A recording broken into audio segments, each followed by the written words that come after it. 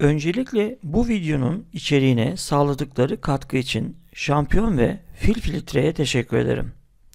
En son söyleyeceğimizi en baştan söyleyelim. Lütfen aracınızda orijinal olmayan yani yan sanayi diye tabir edilen filtre kullanmayın. Neden mi? Şimdi bunu açıklayalım. Motor için en hayati parçaların başında yağ filtresi gelir. Yağ filtresi yanma sonucunda oluşan karbon, metal parçacıkları ve kirlerin motora geçmesini önler. Yani motorun ömrünü uzatır veya tam tersi kısaltır. İçten yanmalı motorlarda iki tip yağ filtresi görüyoruz. Vida dişli spin-on filtreler ya da sanayide kullanılan ifadesiyle atom tip filtreler. Bu filtrelerde kağıt eleman gövde içindedir ve tüm parçalar tümleşiktir. Motora vidalanarak takılır. Komple değişim yapılır. İkinci tip filtre eleman tip veya kartuş tip filtrelerdir. Bu filtrelerde gövde motorun üzerinde kalır ve değişmez. Değişen kısım kağıt elemandır.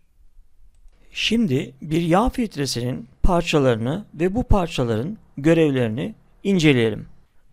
Dış conta filtrenin yağ sızdırmazlığını sağlar. Filtre conta sayesinde yerine sıkı bir şekilde oturmuş olur ve dış ortamdan kirleticilerin girmesini önler. Demir kapak filtrenin yerine vidalanmasını sağlar. Dış contaya yataklık eder. Yağın girişini ve çıkışını sağlar. Antisifon geri akış önleme valfi ya da İngilizce ifadesiyle anti-drain valve. Her filtrede kullanılmamaktadır. Kauçuk malzemeden yapılır. Eğer filtrenin motora bağlantısı şekilde görüldüğü gibi ise yer çekimi yağın filtreden boşalmasını engeller. Bu valfe ihtiyaç duyulmaz. Ancak filtre yan veya baş aşağı şekilde konumlanmışsa motor kapatıldığında yağ filtreden geri akacaktır. Animasyonda motor çalışırken antisifon valfin çalışmasını bir de motor çalışmazken antisifon valfin durumunu görüyoruz. Alt conta filtre elemanı ile kapak arasındaki sızdırmazlığı sağlar. Filtre elemanı yağ filtresine giren yağı temizler. Eleman %99.8 oranında kirleticileri tutabilir. Filtre elemanı belirli bir kilometre sonunda tıkanır ve filtrenin değiştirilmesi gerekir. En yaygın kullanılan malzeme selüloz liflerinden yapılmış kağıttır. Bypass valfi Motorun normal çalışma şartlarında filtrede yağ akışı görüldüğü gibidir.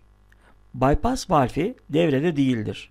Ancak motor soğukken yağın akıcılığı azalır veya filtrenin tıkanması durumunda yağ akışı azalır. Yağın filtreden geçişinin azalması filtrenin dış kısmı ile iç kısmı arasında basınç farkı oluşturur.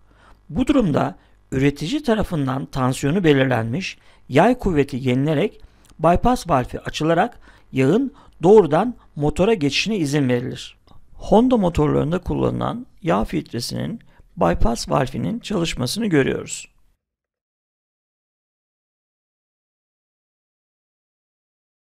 Bazı filtre üreticileri ürettikleri filtrenin teknik özelliklerini paylaşır.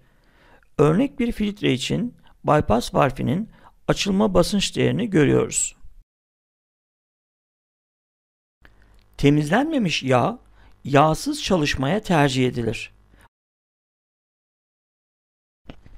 Baskı yayı filtre elemanına baskı uygulayarak elemanı sızdırmazlık contasına bastırıp sızdırmazlığa katkı sağlar.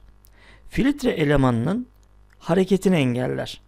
Ayrıca gövde ile eleman arasında boşluk yaratarak bypass valfinin sağlıklı çalışmasına da yardımcı olur.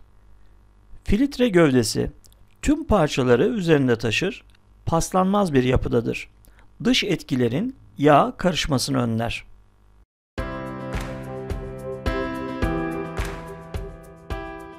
Motordaki yağ filtrelerini sökmek için çok farklı takımlar bulunmaktadır.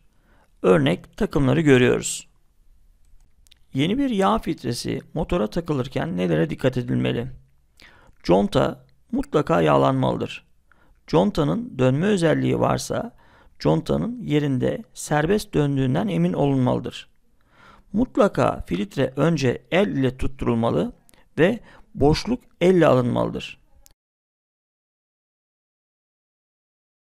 Sıkma işleminde filtre contaya dayandıktan sonra el ile 3 çeyrek dönünceye kadar sıkılmalı veya ortalama 20 ila 25 Nm derinde torklanmalıdır.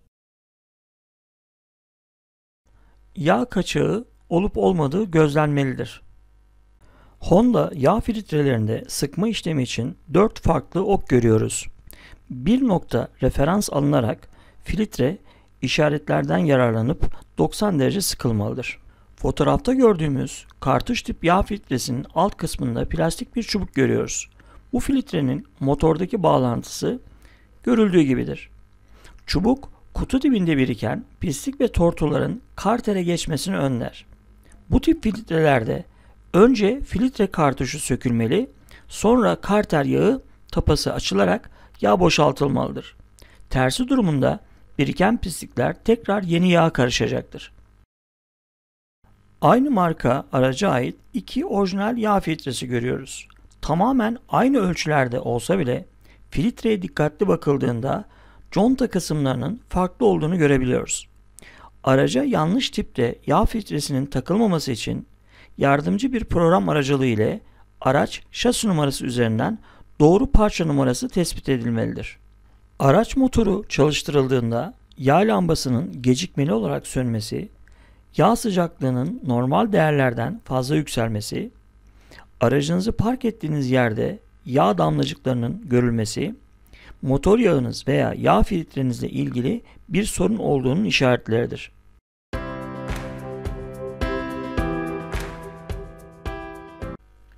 Şimdi bir orijinal, diğeri ise yan sanayi diye tabir edilen iki filtreyi karşılaştıralım.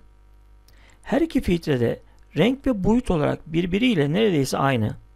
Üst çontadan başlayalım. Orijinal filtrenin üst çontası hareketli bir yapıdayken diğerinde böyle bir özellik yok.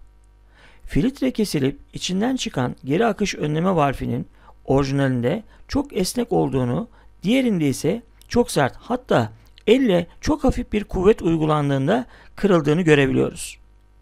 Her iki filtreden kağıt örnekler aldığımızda kağıt kalınlıklarının da farklı olduğunu görebiliyoruz.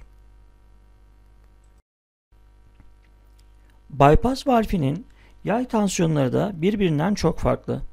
Görüldüğü gibi bir ağırlık ölçer kullanarak yay kuvvetini ölçtük. Orijinal filtrenin valfinin tam açılıncaya kadar gereken kuvvet değerini görüyorsunuz.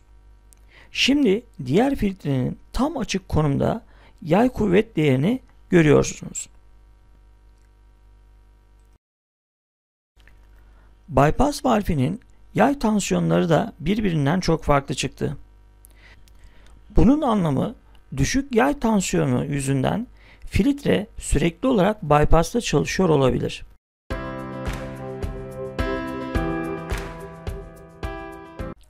Son olarak bir filtrenin servis süresi ve filtre elemanındaki basınç farkının grafiğine bakalım.